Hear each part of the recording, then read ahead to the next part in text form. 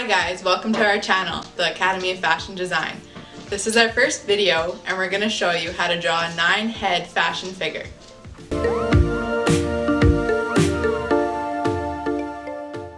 Okay guys, first up we are going to need a piece of white paper, a marker or a pencil if you prefer, and your standard ruler. So first off, we are going to make lines. We're going to make 10 lines, each one inch apart.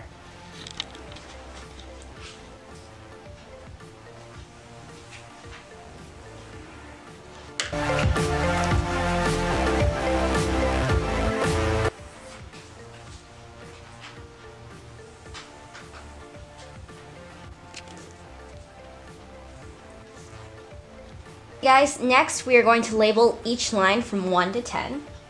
This is 1, 2, 3, 4, 5, 6, 7, 8, 9, and 10. Alright, so once you have your lines drawn out and numbered, I'm going to show you guys where your basic points of your fashion figures are. So in between number 1 and 2, you're going to have your head here. A quarter inch away from line 2 is going to be your shoulder. A quarter inch away from line 4 is going to be your waist. A quarter inch away from number 5 is going to be your hips. A half inch away from number 7 will be your knees. And on line 10 will be your ankles. Alright, so after you have your points of where your shoulder, waist, hip, and knees are going to go, um, you're going to draw horizontal lines on those dots. So for your shoulder, it's going to be a quarter inch bigger than your head. So it's going to be roughly around an inch and a quarter. For your waist, it's going to be under an inch. So what I did is I only used around three and a quarter. And then for your hips, you want it to be bigger than your shoulder just by a little bit. So I just did another inch and a quarter and then added both uh, an eighth on both sides. And then for my knees, I just separated them slightly, same with my ankles. Alright, so once you have your horizontal lines uh, drawn out, we're just going to connect the dots. So from shoulder to waist, from waist to hip, and then you're going to do the, uh, the same thing on the other side. There we go. For our knees, we're just gonna draw circles for our sockets. So I just separated them around half an inch from the point here.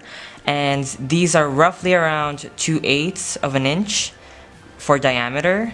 And the same thing goes for the ankles. You just separate them close to around half an inch or under half an inch and these are around one eighth of an inch for di uh, the diameter and what we're gonna do is we're just gonna connect the dots again just on the outside of the circles so from your hip to your knee socket from your knee socket to your ankles and when you get to the crotch area, you want to go a little bit outside of your point. So around 1 16th or 1 8th should be good because we do want to give it a little bit of gap in there so make it look natural.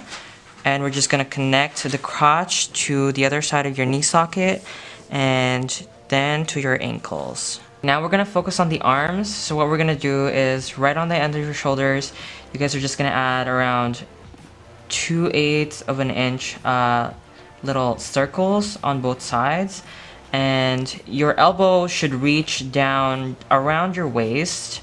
So we're gonna do draw two circles again there a little bit smaller than your shoulder so that your proportions are right. And then your wrist should hit under your hips. So right here you're gonna draw an even smaller circle for your wrists and then what you're gonna do is you're just gonna connect the dots again. So from circle to circle to circle. So we're gonna go from our shoulder to our elbow, elbow to our wrists. And then just do that.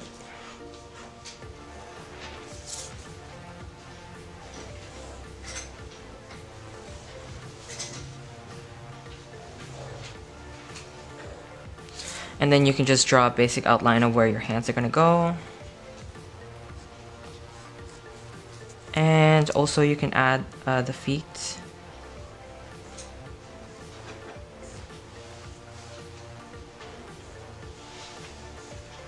For our fashion figure for the feet, it's long like that because we have to remember that we picture them when they're wearing heels. And then after that, you're just gonna add your neck. Connect the head down to the shoulder. And then we have our basic figure all mapped out. We're gonna draw over our basic figure here and make it more human-like by adding a little bit of contours throughout our body so it doesn't look as boxy as it looks right now. So I'm just gonna trace out the head here. I'm gonna bring down the neck, down. And with connecting your neck to, to your shoulder, you don't wanna go on this line, you wanna go a little bit up, like that, and then connect it. And going down. Because um, our shoulders naturally connect uh, it goes up not just on this point here where they meet. And then what you can do is you can just go down on your shoulder and when you're doing the arms and the legs you don't want it to you don't want to go in a straight line because you do want to give it a little bit of shape because again we're trying to get as close to a human figure as we can and so we're just gonna go just outside the lines and curving it a little bit. Curving the arms a little bit so that it looks human-like. And on the arms again here, we're giving it a little bit of meat down to our wrist. To our wrist. And then where our arms are gonna be. Alright, so we're going to connect our torsos. So we have the upper body here and the hips around here. So what I did is I, I, just drew a line and as you can see, once I got to the hips, I don't follow the line at all. I'm going to curve out because I want to give her that little bit of waist so that she doesn't look boxy on her hips. For the bust area, this is completely optional. You can also add uh, the breasts. So what you can do is you just you can just at number three your bust usually starts and then you can just do a little bit of a curve. The other side come out do a little bit of a curve. There you have it. You have your simple bust area done. So we're on to the leg area. So again you want to draw a little bit outside of the lines because we want to give her a little bit of meat so she doesn't look like a stick figure standing up. So what I'm gonna do is I'm gonna draw from the hip down to the knees coming in. I want to draw her crotch here. And just do the same thing. Draw a little bit outside the line. Give it a little bit of a curve. Not too much. Just so that she looks like she has a little bit of meat. Alright, so we're going to go to the thighs. Um, what I like to do is I like to do a little bit of a curve on the outside here because this is a really meaty part of the thigh so that it looks realistic. And then on the inside, I'm just gonna pretty much just follow the lines down to my ankles. I don't have to worry too much about giving this part a lot of contour. But when it comes to the outside part, I like to curve it out. And then just bring it down into the circle of my ankle and curve it out. Then bring it down to my ankle. So in the ankle, you do want to give it a little bit of a bump on the outside. Just follow your circle. That little bit of contouring makes it a little bit more realistic. And then just follow that feet.